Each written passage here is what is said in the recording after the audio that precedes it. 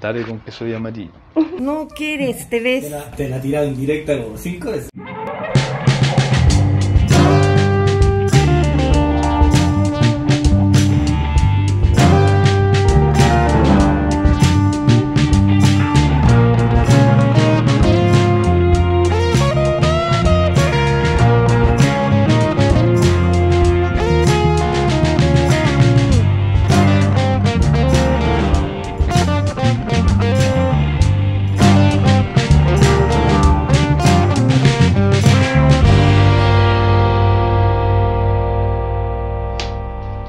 Tardes, Follo Podcast nuevamente aquí con la profesora de Derecho Civil Claudia Bahamondes y asesora del conservador de bienes raíces de Santiago.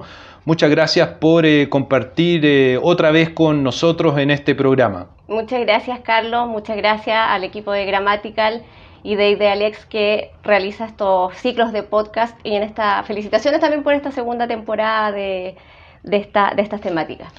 Muchas gracias. Y hoy nos vamos a referir a un tema que te es muy familiar, eh, es a propósito de la responsabilidad de los conservadores y de los notarios.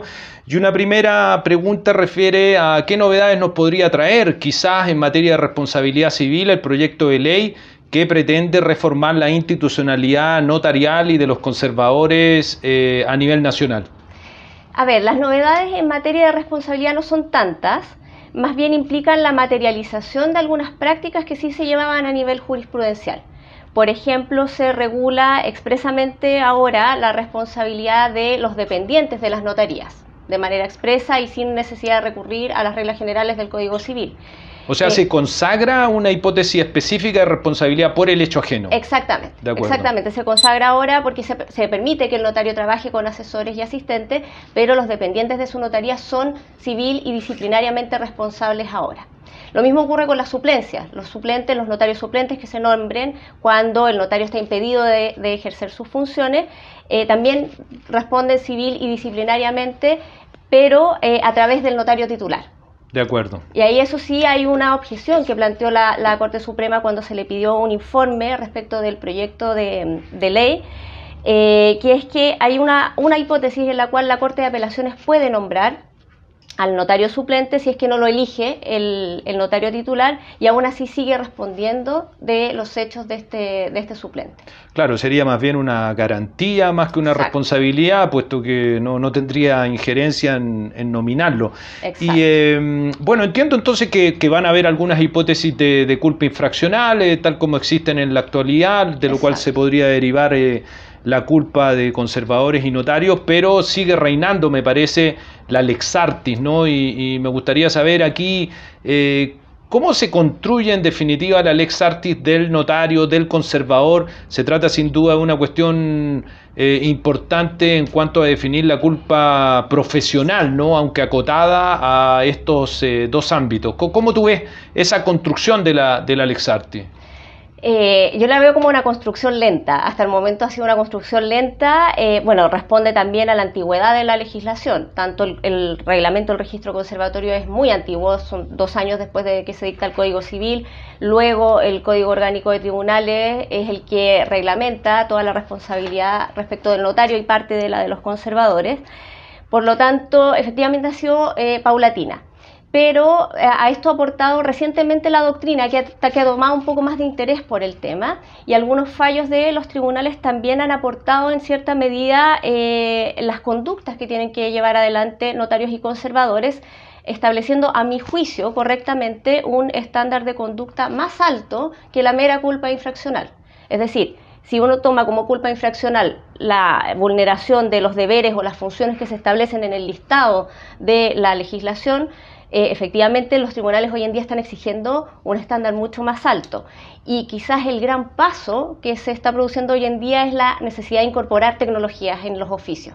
Ese ha sido el, eh, quizás, o va a ser probablemente, el gran avance en la Lex Artis como elemento que la va a integrar eh, en, los próximos años. Y, mencionaba una cierta manifestación en los tribunales de sentencias, pero ah, yo percibo que hay una desigualdad, ¿no? Porque existen algunos casos, ¿no? En materia de responsabilidad de notario, pero en el caso de los conservadores, la verdad que es muy escasa, ¿no? en general hay pocos Mm. casos de responsabilidad de notario, pero hay muy pocos casos de conservador. Eh, eh, ¿Tu opinión sobre la razón por la cual existe una manifestación tan tímida? ¿No se equivocan? Eh, ¿Es muy raro que, se demande? ¿Hay arreglos antes de, que es una posibilidad? ¿Qué es lo que explica ¿no? esta presencia tan tímida en los tribunales de las demandas contra estas personas? Yo creo que, esto puede obedecer a dos factores. Uno, que efectivamente el sistema puede que funcione o no funcione tan mal como uno piensa en cuanto por lo menos a la responsabilidad de estos funcionarios. Sí es cierto que prestan un mal servicio algunos, eso es verdad, o sea, de eso no hay duda, y que hay disparidad en los servicios que prestan a nivel, a nivel nacional, también eso es cierto. Pero en cuanto a la función que cumplen, tienden a ser un, un servicio correcto. Y de hecho eso mismo lo identificó el informe de la Fiscalía Nacional Económica del año 2018 señala que efectivamente ha cumplido los objetivos que se plantearon al momento de establecerlo.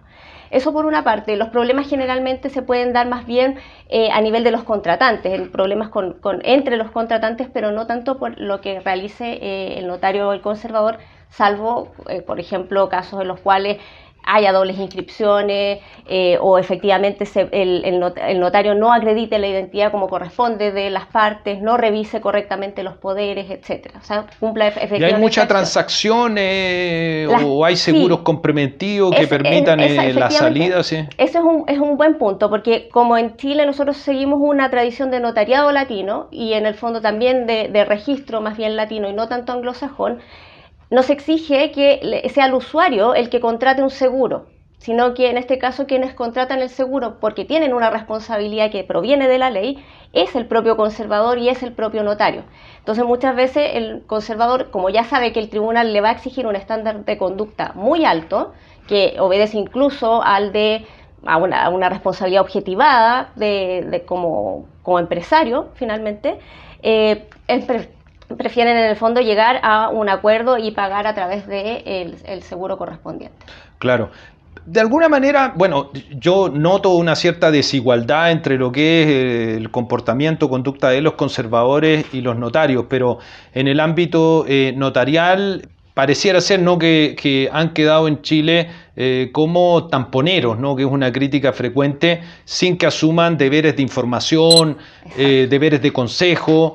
Eh, ¿A ti te parece que eh, dentro del Alexarti eh, existe un deber de información o un deber de consejo de notarios y conservadores?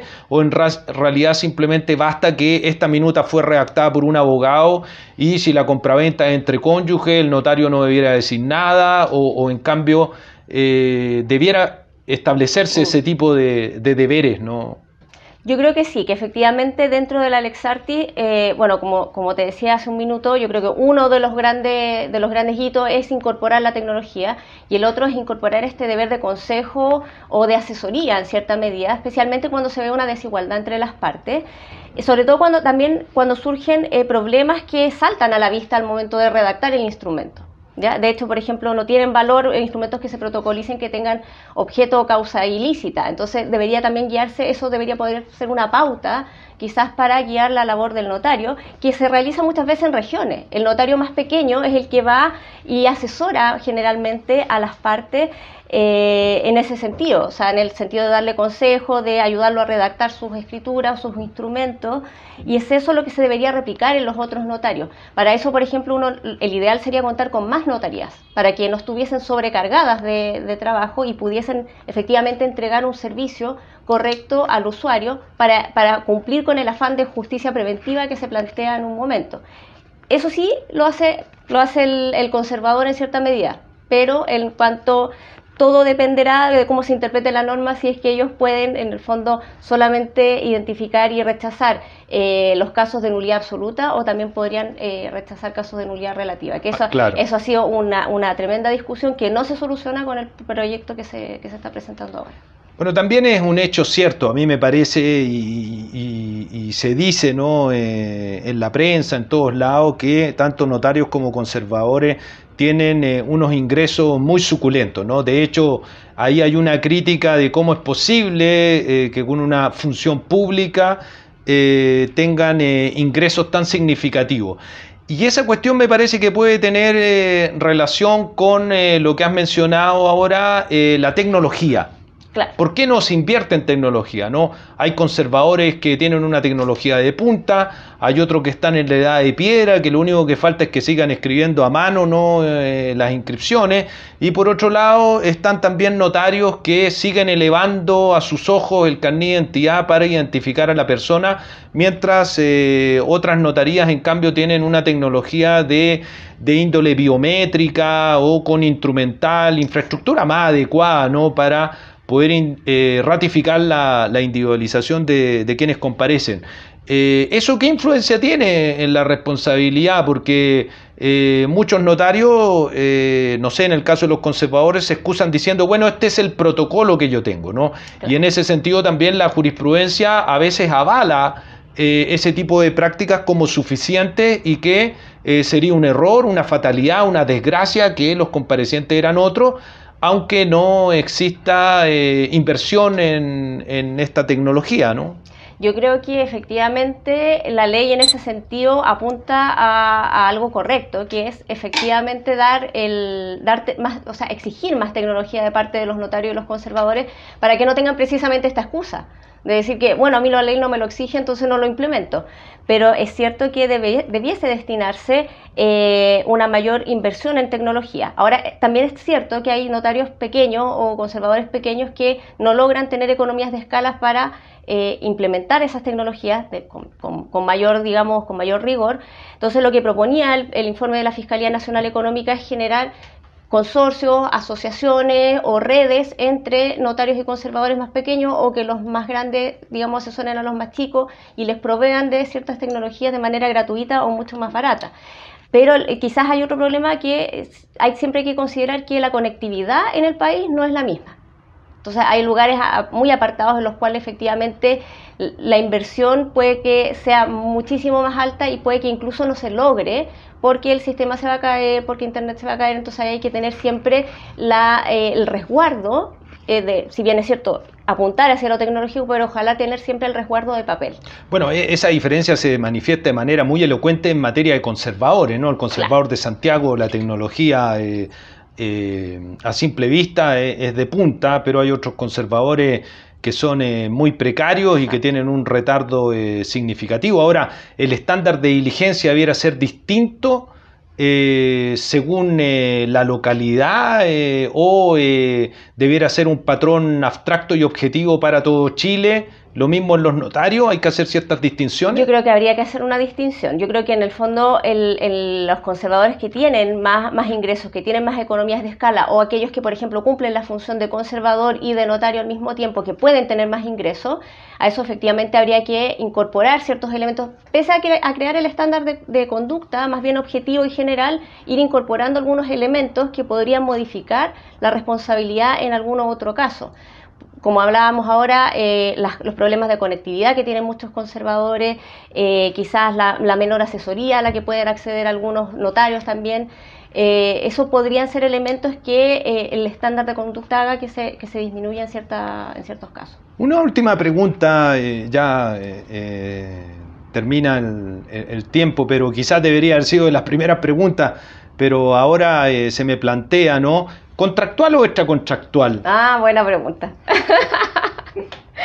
en general, a ver, la doctrina que ha escrito recientemente al menos eh, estima que debería ser contractual, porque pese a que lo que existe es un arancel, y no, no, es en el fondo genuinamente un precio, pero se paga una contraprestación por un servicio eh, y tienden a ser contratos eh, medio forzosos, heterodoxos en, alguna, en algún sentido.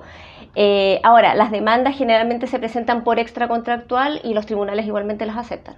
No, en ese sentido no hay objeciones, digamos, y hay una cierta opción para la víctima eh, en, los hechos finalmente eh, para, elegir la vía que, se ejerza. Claro, en ciertas ocasiones se trata genuinamente de un tercero que lo suplantaron, bueno, ahí Por ejemplo, queda más clara que, que, extracontractual la diferencia cuando existe un servicio.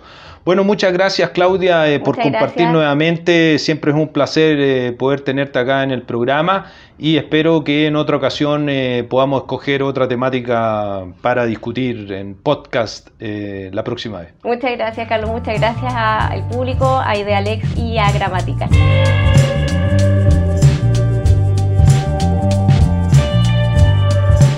Blanco, ya no amarillo. Illuminati. Con un aura.